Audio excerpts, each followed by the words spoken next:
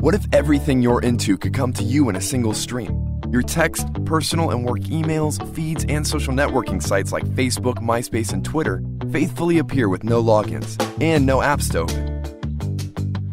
With friends in so many places, it would sync them all together, no matter how you know them. So you can focus on what people have to say instead of how they send it. With constant updates and backups, you're connected and protected, even if you lose your phone. Your entire life in a single stream on the phone that's smart enough to be social. It all happens with MotoBlur, new from Motorola.